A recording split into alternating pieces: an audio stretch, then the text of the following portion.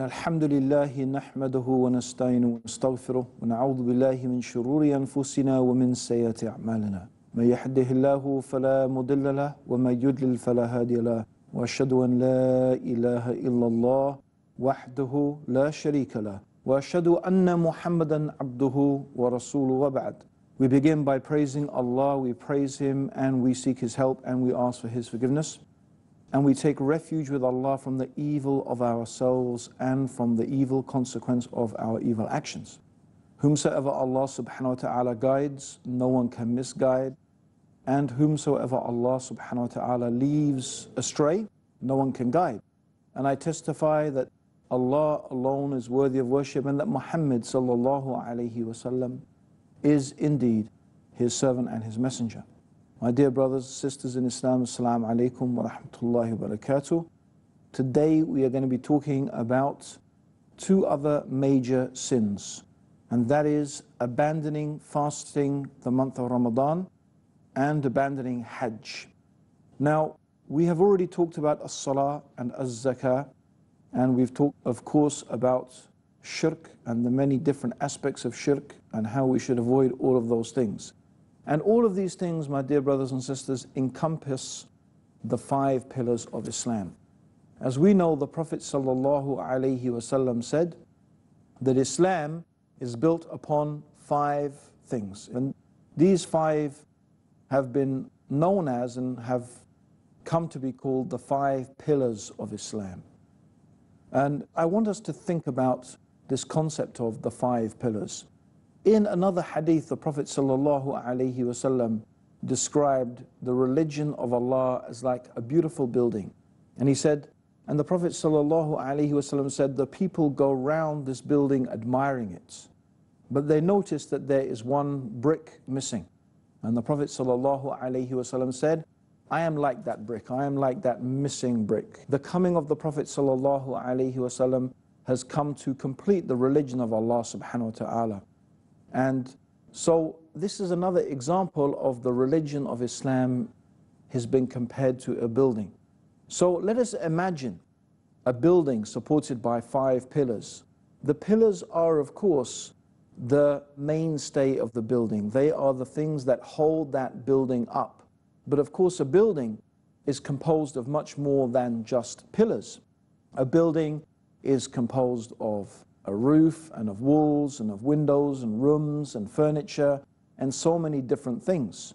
So it's important to understand that the five pillars of Islam is not the entirety of Islam. The five pillars are the things that support and hold up the religion. So they support it, they hold it up. And if you were to take away one of those pillars, then the whole of the building, the whole of the edifice would collapse and would crumble. So upholding the pillars of Islam is essential. If we take away one of those pillars, then surely we will see the destruction of Islam, either in our own personal lives or indeed as the body, the ummah. If we find that we abandon these pillars of Islam, we will find that we will disintegrate, we will dissolve, we will no longer have any coherence as a nation. So these are the things that hold us together. And that is why, without doubt, amongst the greatest of the major sins is abandoning any one of the five pillars of Islam. And I mention this because there are not that many hadith there are not that many verses of the Quran that really directly show us that not fasting Ramadan or not making Hajj has a particular very severe torment, not like, for example, abandoning a salah or abandoning the zakah, which we had some very, very clear verses of the Quran and very, very poignant sayings of the Prophet ﷺ about that. But abandoning fasting the month of Ramadan and abandoning Hajj is much more understood to be uh, amongst the greatest of the major sins because they constitute the pillars of Islam. They are two of the pillars of Islam. and therefore abandoning them is equivalent to abandoning Islam.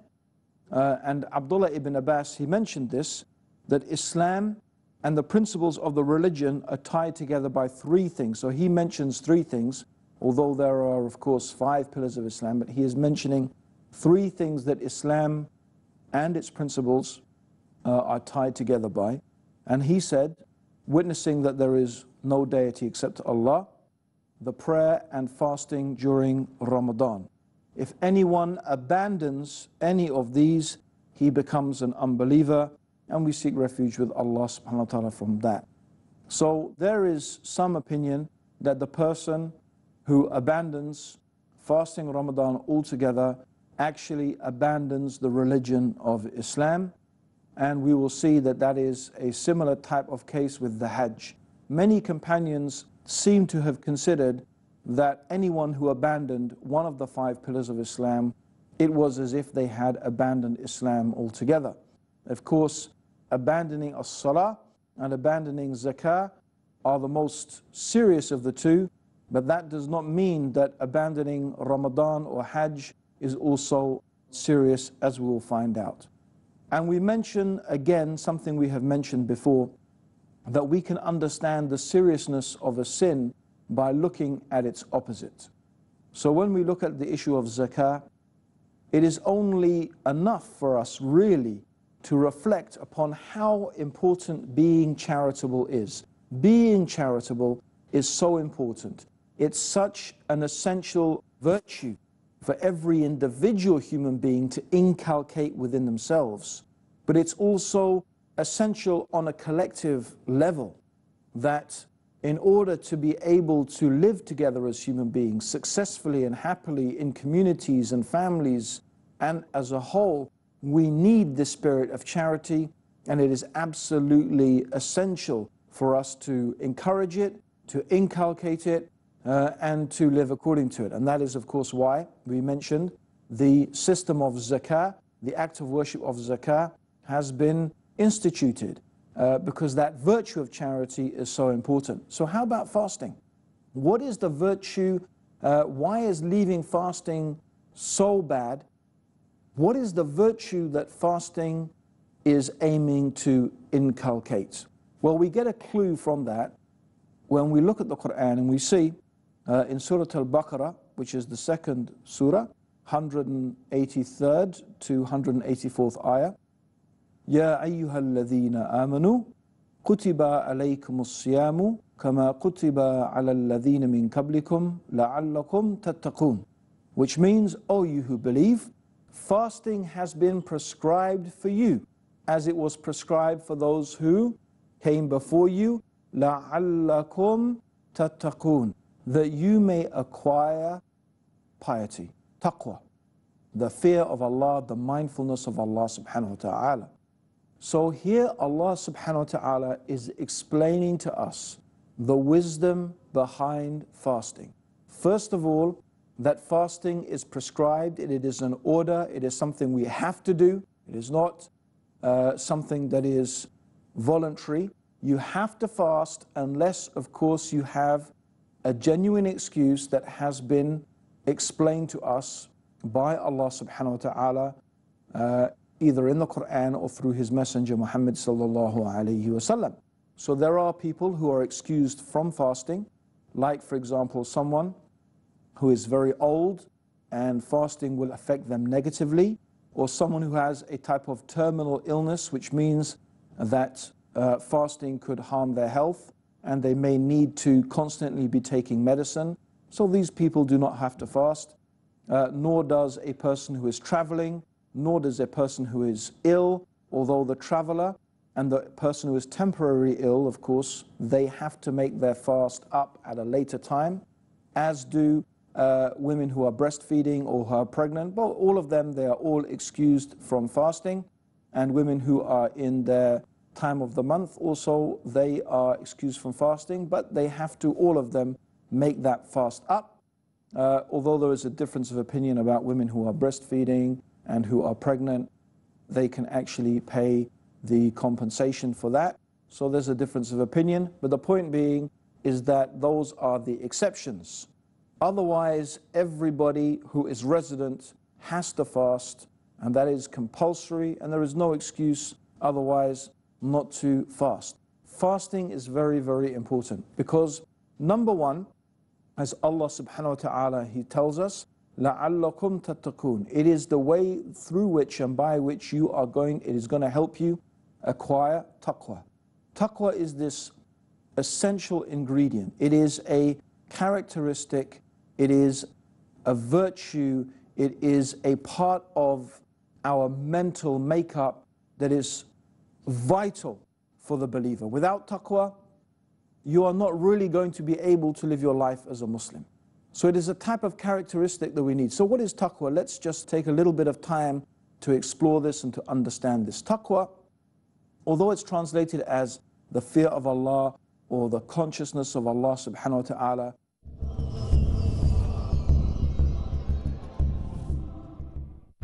Thursdays provide. Taqwa, as we mentioned before, comes from the Arabic word shield. So taqwa is that which is a shield between you and the punishment of Allah subhanahu wa ta'ala. It is that which causes you to abandon the things that Allah subhanahu wa ta'ala has prohibited. And that's essentially it. And we've mentioned this before, okay? That taqwa is essentially a quality that keeps you away from Allah's punishment and that keeps you away from doing the haram things and ensures that you do those things that Allah subhanahu wa ta'ala has ordered you to do. So how does fasting help to develop within you taqwa? Well, it's because fasting is an act of self-discipline. And at the very beginning of this series, we talked about life being a test. We explained how life was a test how Allah subhanahu wa ta'ala has made life a test, and that what do we have? We have our desires, we have a shaitan, and those things are trying to lead us away, or they have the inclination or the means to lead us away from the guidance of Allah subhanahu wa ta'ala. On the other hand, we have our fitrah, and we have our aql, our intelligence, and we have the revelation from Allah subhanahu wa ta'ala to follow and for us to go on the straight path. So it is this fasting that really enhances those positive qualities, those things that help us to keep away from following our desires and from following shaitan. Number one, because in Ramadan, of course, the shaitan is actually chained, and this is so Allah subhanahu wa ta'ala allows us through His mercy, through His favor, to taste how the life is without shaitan constantly interfering and bothering us and so on and so forth. So in the Ramadan, the shaitan is chained. So this is, means the shaitan is kept away from us. Some scholars explained, it doesn't mean shaitan does not bother you at all, it just means that his effect on you is a lot less. But just as important, if not more important than that, fasting teaches us to control our appetites. It teaches us to control our desires. If we can abstain from eating and drinking and from sexual intercourse and from smoking from dawn until sunset, and also, of course, fasting is not only about keeping away from food and drink and from intimate relations, fasting is also keeping away from evil in your speech and your action. As we know, the Prophet ﷺ, he said that Allah has no need of a person to abstain from food and drink who does not abstain from evil in their speech and action. So keeping away from evil speech and evil action is so important, and that is a part of fasting in reality. So now, if we can manage to restrain our appetites, what does it teach us? It teaches us that we do have the ability to control our desires. We do have the ability to overcome those essential needs, those essential desires. We can abstain, we can withhold, we can control ourselves. And that is the basic lesson of fasting. It's self-discipline. Self-discipline, which is essential. How will we ever obey Allah subhanahu wa ta'ala? How will we ever inculcate within ourselves and do those good deeds and keep away from those sins that are going to lead us to destruction in this life and the next, if we do not learn how to control our appetites and to control our nafs, to control al hawa, to control our desires. So, this is amongst the great, great benefits of fasting the month of Ramadan. So, when you don't do that, you lose tremendously. You are eroding a very, very important pillar of Islam. You have taken away from your life that important thing that teaches you and inculcates within you and educates you to have the taqwa of Allah subhanahu wa ta'ala. And this is why, my dear brothers and sisters, you can see why abandoning the fast of Ramadan is such a serious thing. Why abandoning it is really the equivalent of abandoning Islam. Because at the heart of it is this jihad, the jihad bil nafs, the jihad against yourself. So when the Prophet ﷺ was asked, what is the best jihad? The Prophet ﷺ said, the best jihad is the jihad against your nafs, the jihad against yourself, for the sake of Allah subhanahu wa ta'ala. And the Prophet ﷺ was asked, and what is the best hijrah, mean the best emigration? And the Prophet ﷺ said, the best hijrah is leaving the sins for the sake of Allah subhanahu wa ta'ala. So I hope, my dear brothers and sisters, this is partly uh, will help you to understand uh, why leaving fasting the month of Ramadan is a major sin amongst the major sins. And we could put this above many, many, many other sins that we will be talking about in the future. But this sin of abandoning one of the pillars of Islam is far greater than many of those other sins. So be very, very careful. Do not take this matter lightly at all. Let us also look at the issue of Hajj, my brothers and sisters. Hajj is also very, very important. And Allah subhanahu wa ta'ala, without any doubt, has uh, ordered the Hajj upon us in Surah Ali Imran, which is the third surah, in the 97th ayah. And pilgrimage to the house is an obligation upon the people towards Allah for anyone who is able to find a way to do it. So, therefore, without doubt, making Hajj to the house, making the pilgrimage to Mecca, which, as we know, is only at a certain time of the year during a certain date. So, it is a very specific time, as you can only make Hajj or pilgrimage to Mecca in the month of Dhul Hijjah during the prescribed days, which is during the first 10 days. Okay, so this is the time for the Hajj, and each day has its particular rites and rituals and things that should be done. So, Umar ibn al Khattab, he said, I had a mind to send messengers to various cities to see who had the capability of performing Hajj, but did not do it. And then to impose jizya on them since such people are not amongst the Muslims. So it shows that Umar considered the people who did not make Hajj. It is interesting that he did not seem to consider that the people uh, who made Hajj, he considered he wanted to impose jizya on them. And he felt that people who did not make Hajj, when they had the money and they had the wealth and they had the ability to do it, and they had not done it, they are not amongst the Muslims. It shows, my brothers and sisters, that if you have the money to make Hajj, and that money is in your possession, then you are obliged to make that Hajj, of course, as long as physically, you know, you are fit enough and you, you know, you are not under the threat of, you know, uh, some severe illness by traveling. Of course, if you don't have the physical capacity or the financial capacity, then making Hajj is not an obligation upon you. But if you do, then you have to make Hajj. And, uh, and from this saying of Omar ibn al Khattab, there is the suggestion that your failure to make Hajj when you can afford it is almost, or if perhaps it is, that you are not truly a Muslim at all. This making Hajj is one of the pillars of Islam. So, my dear brothers and sisters, if you have the money to make Hajj, you must make Hajj. You do not wait and say, oh, I will wait until I am older. I will wait until I have reached an older age and then I will make the Hajj. No, this is very, very wrong. As many people think like that. Oh, I'm going to wait till I get an old man, then I will change my life, and then I will repent and I will make the Hajj. Subhanallah, brothers and sisters, what guarantee do you have that you're going to live until you are older?